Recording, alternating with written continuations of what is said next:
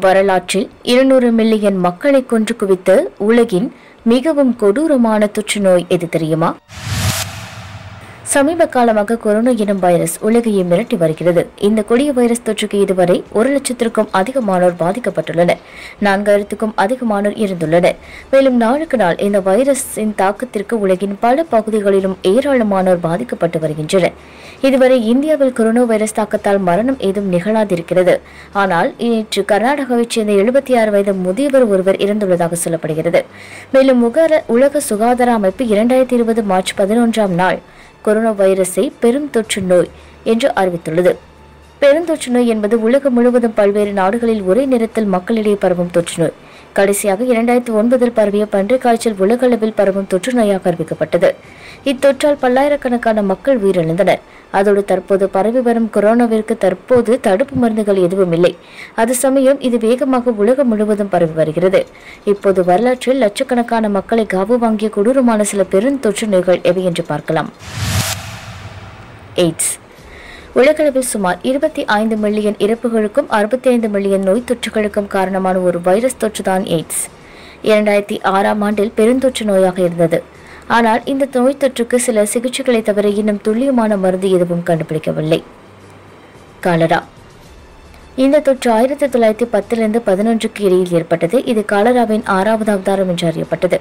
இது இந்தியாவில் உருவானது மற்றும் மத்திய கிழக்கு ரஷ்யா மற்றும் கிழக்கு ஐரோப்பிய பகுதிகளுக்கு பரவியதோடு சுமார் ஜீரோ புள்ளி எட்டு மில்லியன் மக்களை கொன்ற கொடிய புற்றுநோய்.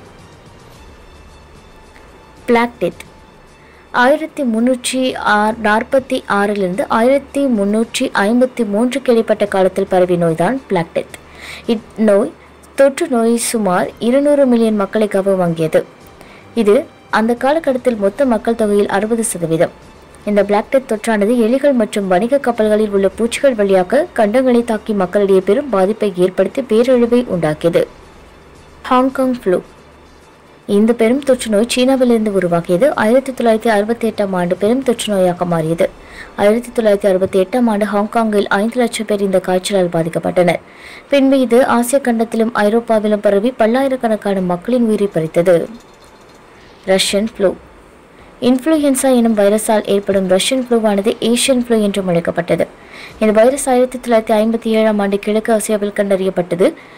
இந்த வைரஸ் தொற்றால் சுமார் ஒரு மில்லியன் மக்கள் உயிரிழந்தனர். வரலாற்றில் மிக மோசமான பெருந்தொற்று நோய் இது பதினான்காம் நூற்றாண்டில் உலகெங்கிலும் சுமார் எழுபத்தி ஐந்திலிருந்து இருநூறு மில்லியன் மக்களை கொன்று வரலாற்றிலேயே மிக மோசமான தொற்று நோயாக பிளாக் டெத் கருதப்பட்டது ஹெச்ஐவி ஹாங்காங் ஃப்ளூ மற்றும் ஆறாவது காலரா ஆகியவை பிளாக் டெத் தொடர்ந்து வந்த பிற தொற்று நோய்கள். புற்றுநோய் ஒரு பெரும் தொற்றா? புற்றுநோய் ஒரு பெருந்தொற்று நோயாக கருதப்படவில்லை. ஏனெனில் ஒவ்வொரு வருடமும் உலகளவில் மில்லியன் கணக்கான மக்கள் இந்நோயால் மறைத்து வருகின்றனர். பெருந்தொற்று நோய் என்பது பரவக்கூடியது. ஆனால் புற்றுநோய் ஒரு தொற்று இல்லாததால் இது தொ- பெருந்தொற்று நோய் அல்ல என்று கூறப்படுகிறது. பிளாக் டெத் எப்போது முடிவுக்கு வந்தது? ஆயிரத்தி முன்னூற்றி நாற்பத்தி ஏழிலிருந்து ஐம்பத்தி ஒன்றுக்கு இடைப்பட்ட காலத்தில் பிளாக் டெத் ஐரோப்பாவில் தொடங்கிய ஒரு கொடிய பிளாக் நோய். இந்த நோய் பதினான்கு முதல் பதினேழாம் நூற்றாண்டுகளில் உலகளவில் மில்லியன் கணக்கான மக்களின் உயிரை சூறாடியது. இந்நோயின் முதல் வெடிப்புக்கு பிறகு ஆயிரத்தி முன்னூற்றி அறுபத்தி ஏழிலிருந்து ஆயிரத்தி தொள்ளாயிரத்தி அறுபத்தி ஏழுக்கு இடையே உலகம் பல வெடிப்புகளை சந்தித்தது. ஆனால் ஆயிரத்தி அறுநூற்று அறுபத்தி ஐந்திலிருந்து அறுபத்தி ஆறுக்கு இடையே இங்கிலாந்தில் பிளாக் டெத் தொற்று முடிவுக்கு வந்தது. எங்களுடைய நிகழ்ச்சிகள் உங்களுக்கு பிடித்திருந்தால் உடனுக்குடன் கண்டு மகிழ. எமது சேனலை சப்ஸ்கிரைப் செய்து அருகே வரக்கூடிய பெல் பட்டனை அழுத்தவும். எங்களுடைய நிகழ்ச்சிகள் உங்களுக்கு மிகவும் பிடித்திருந்தால் உங்களுடைய நண்பர்களுக்கும் ஷேர் செய்யவும். நன்றி வணக்கம்.